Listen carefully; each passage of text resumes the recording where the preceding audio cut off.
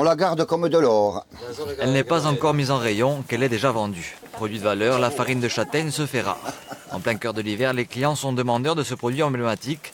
Dans ce magasin, le propriétaire est obligé de rationner un ou deux kilos au maximum par personne.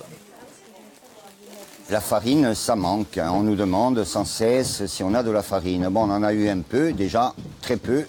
On va en avoir encore un peu chez différents producteurs.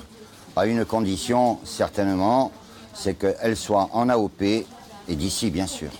Si certains ont dégoté quelques kilos, d'autres ont pour l'instant moins de chance. Jean-Étienne Ventour, biscuitier, a réussi à trouver l'an dernier 120 kilos pour confectionner ses produits. Cette année, le producteur où il s'approvisionne ne pourra pas lui en fournir. Il faudra trouver un plan B.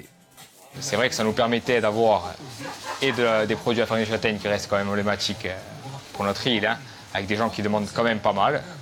Donc on, va essayer, je pense, de, compenser avec de la, farine italienne en le signalant quand même aux clients, bien que ça reste différent de, de la nôtre. La farine italienne, faute de mieux, c'est ce que propose cette supérette du centre-ville. Chaque année, presque 300 kilos sont écoulés ici.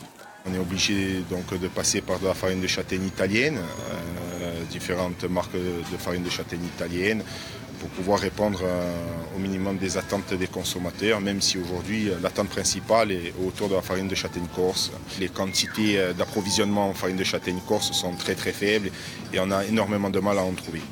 La première farine de châtaigne corse sera livrée dans quelques jours. Elle sera écoulée en quelques heures à peine. L'an dernier, 150 kg de farine corse ont été vendus ici. Il en faudrait 10 fois plus pour satisfaire la demande.